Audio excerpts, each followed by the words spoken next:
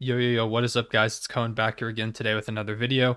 Today's video is another Thunder one. I know I make a lot of Thunder videos. It's almost like I'm a fan or something, but I really wanted to make this video for a while because the player I want to talk about today is Alexei Pokusevski, who, in my opinion, is one of the most unique, if not the most unique players in the entire NBA. A guy that I am super high on, who I think could be the next unicorn type player in the NBA. And not only me, but other people, other Thunder fans, other people around the league are really high on him. And I wanted to explain to you why, because I feel like he's not a lot of guy that has gotten or a guy that has not gotten a lot of attention from the overall NBA media, partially because the Thunder are really bad, and partially because his stats don't pop out to you. I'll talk about all that in a second. But in my opinion, I think Alexei Pokusevski has all NBA type potential. If you have only looked at his stats or you've seen the lowlights of him making bad turnovers and stuff like that, you're going to think I'm crazy. But I promise, stick around for this entire video and I promise I'll explain to you why I see that. At the end of the video, if you still don't buy it, you can call me biased in the comment section below. Leave a subscribe while you're at that. But um, at least stick around for the entire video so I can explain to you my case and talk to you about what I've seen in Pokusevski and why me and so many others are so high on him. So, that being said, drop a like, drop a subscribe if you like this type of content. NBA content pretty much every single day, sometimes twice a day, uh, depending on what day it is, how the games go, and stuff like that. So, I'll start from the beginning. Alexei Pokusevski is drafted 17th overall by the Thunder in the first round of this past draft. He is 18 years old when he is drafted. He is the youngest player in the NBA as of right now. Uh, you might see this video in like a year, like it might pop up in your suggested page, but as of right now, April 22nd, 2021, Alexei Pokusevski is the youngest player in the NBA, just 19 years old. He's seven feet tall and weighs only 190 pounds. He's like a twig. I am six feet tall and I weigh 160 pounds. He is a whole foot taller and only 30 pounds more. And I think I'm built like Brandon Ingram, like super skinny, lanky. So you can kind of picture that for Pokusevski if you have, have not seen him. And coming into the draft, he was an unknown to most NBA fans. There were some rumors that Sam Presti was kind of looking at him. But not many rumors about the Thunder actually come true. Sometimes there's some that end up leaking, but the Thunder let very little leak, and so I wasn't very sure which way we are going to go in the draft. However, at pick 17, he's available, and it was Poku's name that was called. Poku is his nickname. I'll call him that a lot in this video. I thought I would let you know before you're like, who the hell is this Poku guy? Now, Pokusevski, prior to being drafted, played in the Greek A2 League, which is kind of unknown to most fans, but it's the same league that has produced an MVP level talent before in Giannis Antetokounmpo. That was the league that Giannis played in before coming over to the NBA. So, you know, there, there's a parallel there. And when I went to Twitter his highlights after he was drafted, be like, hey, this is the new Thunder player, Alexei Pokusevski, it took me about 10 minutes to find something. And it was all just like these blurry highlights of him running up the court. It, that almost looked like they were in practice gym. So he was not at all your flashy college type guy uh, trying to win a national championship. He was someone who came from overseas and didn't have much national coverage. He, not many people were talking about him before the draft, but he was someone that I knew had high potential, and I knew that he was a swing for the fences pick as soon as we picked him. He's a guy that is very raw, very raw prospect, and some people thought Poku wasn't going to play much in his first season. People thought, oh, he's probably a G League guy. Um, but however, he was given pretty solid rotation minutes right out of the gate, and it was immediately clear that he did have a lot of potential. But like I said earlier, that he was very raw. He was a very raw prospect. Um, I'm going to give you his stats now. Morning, they're very ugly. In his first 17 games, this is prior to the All Star break, uh, in 17.4 minutes per game, Pokusevski averaged uh, 3.3 points per game, three and a half rebounds, uh, 1.2 assists, 1.1 blocks, and 1.3 turnovers on 24% shooting from the field, or 24.7, I'll give him that, and 17.9% shooting from three. With not a, he didn't attempt a single free throw in any of those games, so there's not even a free throw percentage. Um, I'm gonna be honest, those are not good stats. They're not good at all. And throughout that stretch, Thunder fans started to grow restless. They were um, used to having guys kind of pop off immediately. We just had Luguentz Dort, who came in as an undrafted free agent and had this incredible uh, rise. We're used to guys like Kevin Durant, Russell Westbrook, MVP type players, guys who, when we swung for the fences trying to pick a, a high level guy, immediately came in and produced. Shai Gilgeous-Alexander in his first season for us produced incredibly and continues to do so. And so Thunder fans kind of grew restless. And I remember after every game, I tweet out like my thoughts on the game. If we won, I tweet about all the great things that happened that game. And in those post game tweets, my replies were flooded with people saying, Why the hell did we draft Pokusevski? This guy sucks. Sam Presti messed up. What is he doing? Poku can't do anything right. This guy stinks. And to some people, uh, especially if you just look at the stats, this seemed true. Like, this didn't seem out of the question for some people. He wasn't doing much at all statistically in his time on the court. However, if you watched him play, it told a completely different story. Um, from the moment that Pokusevski stepped on the court, his potential was pretty clear. as well as his his confidence. I've never seen a player more confident in his first few games than Pokusevski was. He was throwing behind the back passes in transition from like his first minute in the league. In like the first like three games he played, he would throw passes and he would do like no look type stuff that way. He would um, pull these like crazy shots out of nowhere, like super deep threes, and um, it was just clear from the beginning that every time and every time he messed up, he had turnover, he was super down on himself. It was clear he was super confident and that he knew he had the ability to be great. He knew that he should be improving, he should be playing better, but that didn't hurt his confidence. He kept doing these things, and um, in relation to him, the whole throwing behind the pack back passes in transition, um, it was pretty quickly clear that Pokusevski has potential to be an incredible playmaker. Now, throwing the ball out of bounds, like you've seen probably in some of his lowlights, is not exactly what you expect from incredible playmakers. But over the course of the season, Poku has thrown several passes that just blow my mind, especially for a seven footer. So like some of these are like Jokic esque passes. He'll throw these crazy no look passes. He had one where he would he uh, just the other day where he was charging at the basket and he was looking up at the basket and he threw it off deep into the corner on the opposite side of the floor for a three pointer. It was incredible. It was something I didn't even see that happening. I thought the passing lane was covered.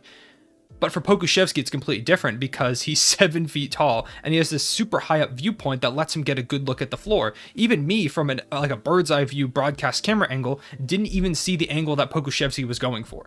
That's how impressive it is. And with that length that he has, that height, he's able to throw the ball over people, around people, and he's able to make passes happen that for me, as someone who's only six feet tall, would never be able to make happen. And that combined with his ability to handle the ball in transition makes Poku already a unique prospect before we get into anything else. Pokusevski is legitimately a threat in transition. He handles the ball like a guard, and he's very young and he's very inexperienced in the NBA, and it already feels like he can kind of read NBA defenses and figure out when to attack in transition, when to pull the ball back out, when to make the dime to his teammate in transition. There are times where Pokusevski will hit a finger roll layup in transition at seven feet tall and it looks crazy because of how lanky he is and how tall he is. It just doesn't look right. Um, my, my, roommate once said Pokusevski doesn't look like a real person because it's just it doesn't look like a skill set and a like body combination that should work, right? And um, just someone at his height shouldn't be able to make plays for people like Poku can. Uh, additionally, he came into the league with a really solid defensive form. Uh, it was incredibly solid, even when players get by him, which isn't that easy to do, or as easy as you would think with how skinny he is he has incredible length. I already talked about that, how he doesn't even look like a real person.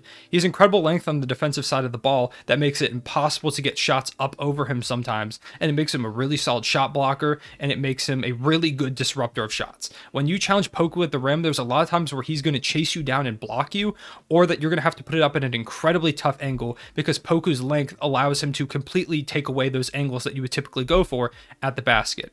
Um, as he bulks up, like I said, he's only 190 pounds at seven feet tall. And as he bulks up, I really think Poku is going to become a defensive anchor on that on that side of the ball. He has like the length, he has the uh, body. He just has to bulk up. And uh, his rebounding, which probably should be better for a seven footer, I think will also come as he bulks up. Right now, he kind of gets pushed around on the box outs, and sometimes he'll get around those just because of his length and his persistence. But as he bulks up, I think it'll be a lot easier for him to get in position for those rebounds. The big problem in the, so all those things those showed out in that first half of the season. But the big problem in the first half of the season was his shooting. Like I said before, Poku in that first half of the season shot 24.7% from the field and 17.9% from 3 in his first 17 games. And I'm going to be honest, that's awful. That is not at all what you want to see but this was mainly due to his shot selection and it just seemed like he was uncomfortable with the NBA game. You have to remember, it's a way different game coming from overseas to here. The college game is kind of similar, but it's not exactly the same. But overseas basketball is something that is very, very different. Um, in an, an episode of the Topic Thunder podcast that I'm on, if you haven't seen that, go check it out, where we talked to Mike Muscala. He talked about how different it was in the NBA compared to overseas, that the games are almost like two different sports at times. He had to make a lot of adjustments, and uh, he kind of was just strictly spotting up shooting. He would never really search for space. He often settled on the first look he had, which is something that he has improved on since that first stretch of the season. So after those 17 games that he played, Pokusevski goes into the G League bubble. This was something that a lot of people were upset about, but ultimately it seemed like a great decision for his future. Um, he played a little bit with the OKC Blue and eventually was called up right before the uh, the playoff run, or when the playoff run would have been. They unfortunately did not make the playoffs.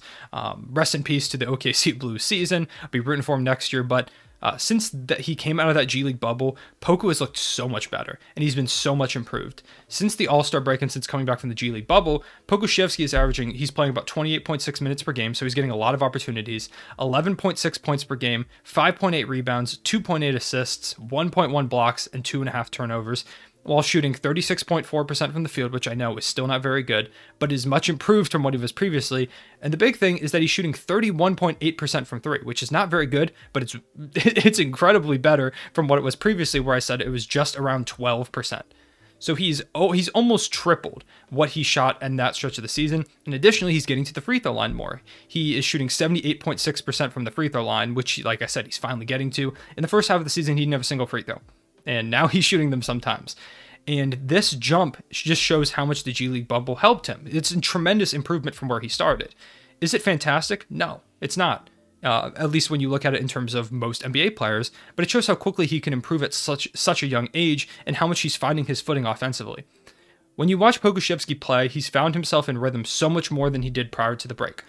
Um, he takes mid-range jumpers now, something that he really never did in that first half of the season. He shoots step-back three-pointers at times. He uses rhythm dribbles to get himself in that rhythm before catching and shooting just cold off the like off the catch. He shoots floaters. He attacks the rim in transition. His confidence has translated into offensive opportunities, and Poku's been capitalizing on them. He has a very quick shot that has deadly potential if it gets consistent, and I think it's going to he can just shoot virtually right over everyone.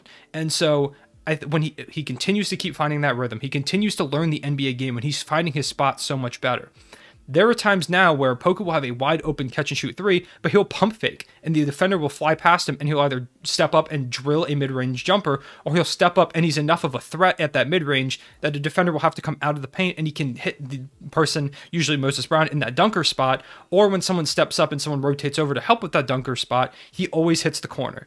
Pokusevski has combined his ability to play make with his rising shooting to make him a dangerous threat on the offensive side of the ball.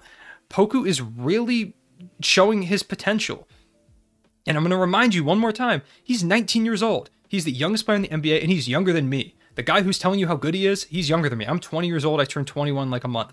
He is he's almost two full years younger than me. He turned 19 in December. He was born in 2001, and he's already being a productive NBA player. So, um, now over the course of this video, I've complimented Poku's playmaking, his defense, his shooting, and his shot blocking. So Poku continues to develop the way I think he's going to, the way that I've talked about in this video. I think these are all going to be strengths of his, massive strengths of his. And that begs the question, what's his weakness? And I believe he has the potential to have very few, if any, weaknesses in his game. A seven footer that can shoot, defend, playmake, and block shots is virtually unheard of. Most guys usually have a hole in one of those areas, not Pokusevski, at least not if he keeps developing the way I think he's going to. And it looks like these are all going to be strengths of his going forward because already they're developing into strengths, especially the playmaking, the defensive side of the ball.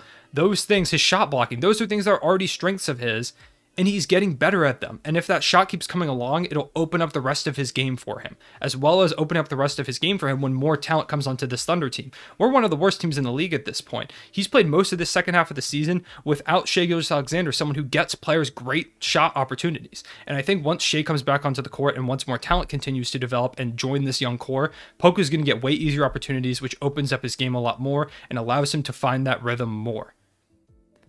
So, um, with all that being said, I think Poku is the most unique player in the NBA and is going to be the next unicorn type player in the league. I know we talked about Porzingis. I think Nikola Jokic is a unicorn. I think Pokusevski has the potential to be another unicorn. If you want to see in one stat why Poku is so unique, I'll give you a stat. The most blocks by a rookie this season, at all rookies, is six. The most threes made in a single game by rookies this season is seven that's both Pokusevski's numbers. Uh, he leads the he leads all rookies in blocks in a game with six, and all rookies with seven threes in a game. Both his records. In the context of this Thunder team as, as a whole, Pokusevski may have the highest ceiling of anyone on the roster. And yes, I am including SGA. SGA is my favorite player. I love SGA, and I think he's going to be incredible. I'm not saying he's even going to be better than SGA or that he will reach these lofty expectations I have but if he does, the league the league better look out, um, especially if the Thunder add a top five pick or at least or actually even potentially two top top five picks if we get the Rockets pick at five. You add those guys to a core of SGA, Poku, like Pokusevski. You add to a core with Dort in it, Bazley if you can keep developing, Theo Maledon, another guy who we got in this year's draft that's been really really good. Ultimately, I think Pokusevski has the potential to be an all NBA level player. A combination of the flashes, he, flashes he's shown, his ability to improve in such a small amount of time so rapidly, the fact that he's playing like this without much talent around him, he needs more talent around him to help make that game easier for him. And the fact that he is 19 years old, he needs to bulk up. All of these things, I think, are his skill set is going to translate as he gets more comfortable, and ultimately, he will be a player that could make an all NBA team. I think he's going to be an all star type guy, and I'm not joking. Some people may look at this video, look at Poku stats, watch some of his lowlights, and think that I'm an idiot and that I'm joking. And if you don't believe me, watch him play a full game. Go watch go watch highlights of the game he played against the Charlotte Hornets. Go watch highlights of the game he played against the Memphis Grizzlies. You will be amazed by him at times. You will also be very very frustrated with him at times. That's understandable. But ultimately I think you'll become a fan of his.